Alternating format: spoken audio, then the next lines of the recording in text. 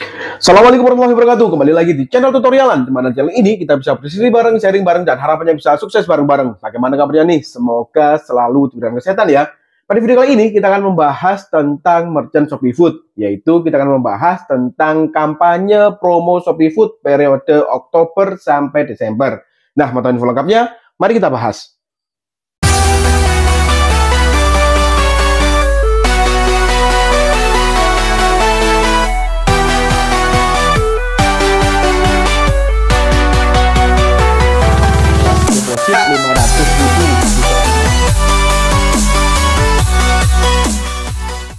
Nah, jika ngomongin merchant Shopee Food atau berjualan online di Shopee Food, uh, kalau kita ngomongin strategi penjualan, memang untuk mengikuti promo itu salah satu strategi penjualan yang pas yang bisa kita ikutin ya. Salah satunya yaitu promo kampanye Shopee Food. Di Shopee Food kan banyak promo yang bisa kita ikutin tuh, mulai dari promo coret, lalu ada promo Gear Collection diskon, dan juga ada promo kampanye Shopee Food. Nah, promo kampanye Shopee Food itu yang seperti apa sih, Kak? Nah, promo kampanye Shopee Food ini yang seperti ini ya Nah ini uh, kalau semua kalian berbelanja atau membeli makanan di Shopee Food, lalu ada resto yang ada keterangannya diskon 60%, ada 50%. Nah itu resto tersebut mengikuti promo kampanye Shopee Food. Nah kita pemilik resto atau pemilik usaha rumahan atau pemilik usaha kecil-kecilan, kita bisa mendaftarkan usaha makanan kita di promo kampanye Shopee Food ya. Nah untuk cara mendaftarnya sebenarnya sudah pernah saya share di pada video sebelumnya yaitu kalian bisa menghubungi PIC tempat kalian ya. Nah, untuk uh, mendapatkan nomor PIC ini juga sudah pernah saya uh, share pada video sebelumnya bagaimana cara mendapatkan kontak PIC. Karena untuk promo kampanye Shopee Food ini memang kita tidak bisa mendaftar mandiri seperti halnya kita mendaftar promo uh, coret ataupun promo gebiar collection diskon ya yang bisa kita setting langsung di Shopee Partner. Nah, untuk promo kampanye Shopee Food ini kita memang benar-benar harus mendaftar melalui PIC di tempat kalian. Nah, itu tadi ya pembahasan sekilas tentang apa sih promo kampanye Shopee Food itu. Oke, coba kita mari bahas perlahan tentang isi dari promo kampanye Shopee Food ini spesifik yaitu periode Oktober sampai dengan Desember. Nah, ini bagi teman-teman Risto yang sudah mengikuti promo kampanye Shopee Food. Nah, ini waktunya yang tepat untuk kalian mengupdate atau e, mendaftar ulang atau memperpanjang promo kalian.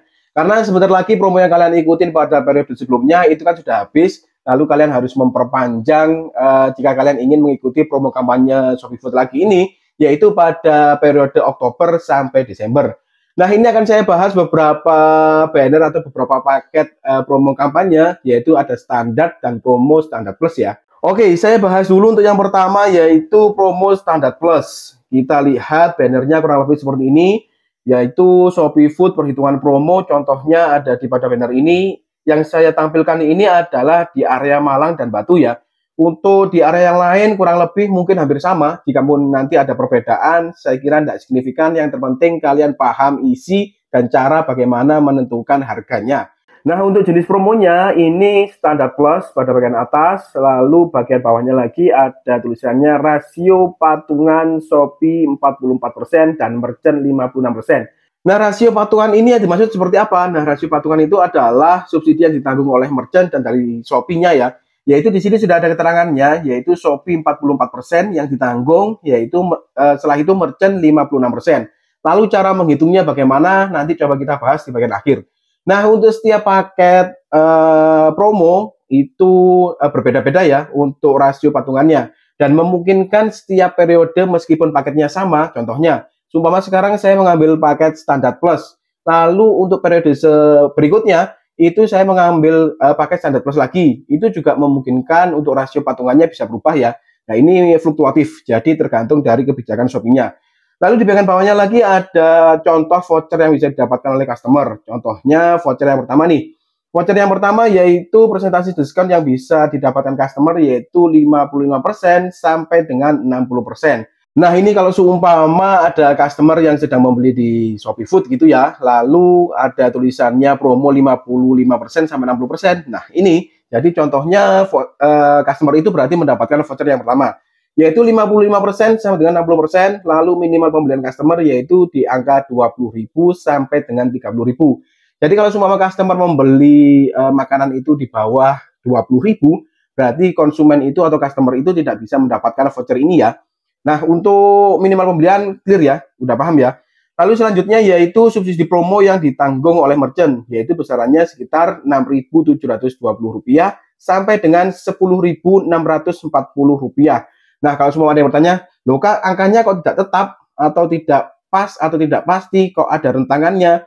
Ya jelas saja ya, karena minimal pembeliannya yaitu 20.000 sampai dengan 30.000. Nah, itu kan masih ada rentangan antara 20 sampai 30.000. Pasti uh, subsidi yang ditanggung oleh merchant itu juga uh, tergantung besarannya berapa, tergantung dia pembelian di angka berapa, seperti itu ya. Lalu untuk voucher yang kedua dan yang ketiga sebetulnya uh, cara perhitungannya juga sama, cuma besaran dari uh, diskon yang didapatkan customer saja yang berbeda. Contohnya kalau voucher uh, nomor 2 ini diskon yang didapatkan oleh customer yaitu 35% sama dengan 45%. Lalu minimal pembeliannya 40.000 sampai 50.000 dan subsidi yang ditanggung oleh merchant yaitu sebesar 8.960 rupiah sampai dengan 14.000 rupiah. Nah, untuk cara menghitungnya bagaimana sama dengan yang voucher yang pertama ya. Lalu voucher yang ketiga pun juga seperti itu, bisa kalian baca sendiri. Nah, untuk voucher 1, 2, 3 itu lagi-lagi saya sampaikan bahwa ada kemungkinan di wilayah yang lain untuk besarannya juga berbeda. Tetapi yang terpenting kalian paham dari isi masing-masing dari tabelnya ya. Mulai persentase diskon yang didapatkan oleh customer, lalu minimal pembelian yang harus dibelikan oleh customer, lalu subsidi yang ditanggung oleh merchant. Nah, oke, okay, coba kita bahas untuk bagaimana cara perhitungan pendapatan resto. Nah, untuk perhitungan pendapatan resto ini memang cukup menarik untuk kita bahas ya, e, karena di kolom komentar pun juga masih banyak e, yang bertanya bagaimana cara menentukan e, harga jual. Nah, untuk cara menentukan harga jual secara spesifik, mungkin nanti akan saya buatkan video lebih jelasnya lagi ya. Saya akan coba mereng-reng secara langsung gitu ya, untuk uh, cara menentukan harganya bagaimana. Oke, pada video kali ini coba kita akan bahas uh, sekilas tentang cara perhitungan pendapatan restu jika kita seumpama mengikuti promo kampanye Shopee Food ini. Nah, perhitungannya kurang lebih seperti ini. Contohnya, untuk skema yang pertama, yaitu kalau seumpama customer membeli di angka 20.000 nih. Lalu subsidi yang uh, ditanggung oleh merchant yaitu Rp6.720.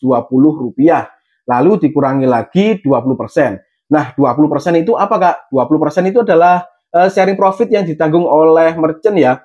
Nah, ini berhubung kalau saya ini uh, sharing profitnya di ratio saya itu 20%. Nah, ini tergantung juga masing-masing uh, dari kalian sharing profitnya berapa persen. Kalau seumpama kalian terkena sharing profit 25%, maka perhitungannya ini bisa jadi untuk yang skema 1, Rp20.000 dikurangi 6.720 yaitu uh, subsidi yang ditanggung oleh uh, merchant ya. Lalu dikurangi lagi sharing profit sejumlah 25%. Nah, seperti itu ya. Oke, coba kita uh, kembali lagi pada perhitungan skema yang pertama. Rp20.000 yaitu minimal pembelian yang dibelikan oleh uh, customer lalu dikurangi dengan Rp6.720 itu adalah angka yang didapat dari subsidi yang ditanggung oleh merchant Lalu dikurangi lagi sharing profit sebesar 20%, lalu hasilnya adalah Rp10.624. Nah, itu adalah angka yang akan masuk ke rekening kita, yaitu Rp10.624. Nah, sampai sini sudah paham ya? Oke, coba kita bahas untuk yang skema kedua, supaya bisa lebih clear dan paham cara menentukan pendapatan yang masuk ke rekening kita. Nah, oke kita cek untuk skema yang kedua, yaitu Rp32.000 dikurangi dengan Rp10.640. Nah, Rp32.000 ini adalah angka yang dibelikan atau dibelanjakan oleh customer ya. Lalu Rp10.640 ini itu adalah subsidi maksimal yang ditanggung oleh merchant. Jadi kalau seumpama eh, hitung-hitungannya tadi kan 44% untuk Shopee dan 56% untuk merchant. Kalau seumpama dikalikan itu ternyata melebihi dari Rp10.640, maka tetap merchant akan menanggung hanya Rp10.640. Seperti itu ya. Lalu dikurangi dengan sharing profit sebesar 20% yang hasilnya adalah Rp17.088. Itu adalah uh, uang yang akan masuk ke rekening kita ya. Nah, untuk skema yang ketiga saya kira perhitungannya sama. Yang terpenting kalian paham bagaimana cara menghitung untuk pendapatan bersih yang akan masuk ke rekening kita.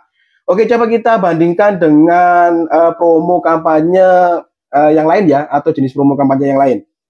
Oke, untuk promo yang kedua yaitu promo standar. Nah, untuk promo standar ini rasio patungannya yaitu Shopee menanggung 46%, lalu merchant menanggung 54%.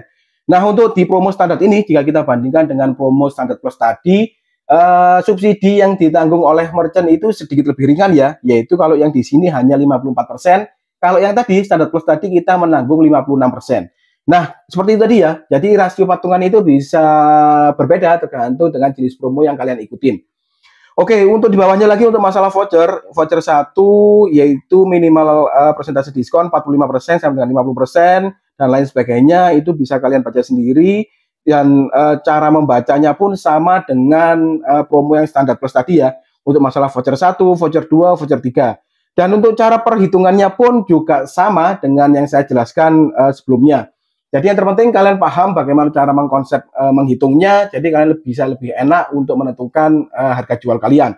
Oke, yang pada intinya yaitu setiap uh, paket promo itu memiliki ketentuan masing-masing ya. Tinggal kalian pilih saja kalian ingin uh, mendaftar untuk jenis promo yang mana. Jadi kalau semua kalian mendaftar di uh, promo kampanye Shopee Food ini, kalian nanti akan dikirimi beberapa banner oleh PIC kalian. Lalu kalian bisa memilih tuh, kalian mau memilih paket yang mana. Lalu kalian bisa laporan ke PIC kalian. Seperti itu ya. Oke, lanjut kita untuk membahas tentang voucher tambahan yang ada di promo kampanye Shopee ini. Di bagian bawah ini ya, yaitu ada uh, voucher tambahan, voucher uh, ongkir jumbo, yaitu pelanggan dapat menggunakan voucher untuk mendapatkan gratis ongkir. Nah, untuk gratis ongkir ini skemanya juga tetap sama, yaitu patungan, Shopee memberikan subsidi, dan merchant pun juga memberikan subsidi. Untuk voucher ongkir jumbo ini, ini uh, bisa opsional ya. Kita bisa mengikuti, bisa tidak. Jadi kalau semua kalian memilih paket standar nih, sekalian kalian ingin mendaftar di ongkir jumbo, itu juga tidak apa-apa. Atau kalian ingin mendaftar di paket standar saja, itu juga tidak apa-apa. Oke, coba kita bahas sekilas untuk uh, paket voucher ongkir jumbo ini. Yang pertama yaitu gratis ongkir 4000, yaitu berarti customer akan mendapatkan potongan ongkir sejumlah 4000 dengan minimal pembelian 40000 Lalu untuk rasio patungannya yaitu resto subsidinya 3000 dan Shopee menanggung 1000. Jadi dari 4000 itu merchant menanggung 3000 dan yang 1000-nya ditanggung oleh Shopee. Lalu yang kedua yaitu gratis ongkir 5000 dengan pembelian minimal 50000. Resto menanggung subsidi sebesar 4000 dan Shopee menanggung subsidi sebesar 1000 rupiah. Lalu untuk yang ketiga yaitu gratis ongkir sebesar 10.000, Resto uh, menanggung subsidi 9.000 dan yang 1.000 ditanggung oleh Shopee. Nah, itu tadi ya untuk tentang voucher ongkir jumbo. Nah, untuk gambaran sekilas, untuk kalian yang ingin menentukan harga jual di platform online seperti Shopee Food ini, kalian juga harus mempertimbangkan hal-hal yang seperti ini ya. Jadi, selain kalian harus menentukan harga jual yang harus ditambah dengan sharing profit, lalu kalian juga harus menentukan jika memang kalian mengikuti promo-promo, salah satunya promo kampanye Shopee Food, kalian juga bisa harus menentukan harga jualnya itu seberapa. Kalian menaikkan harganya seberapa. Nah, kurang lebih seperti itu tadi ya untuk pembahasan uh, pada video kali ini. Semoga pada video kali ini bisa memberikan informasi yang cukup bagi rekan-rekan. Terima kasih sudah menonton. See you next video.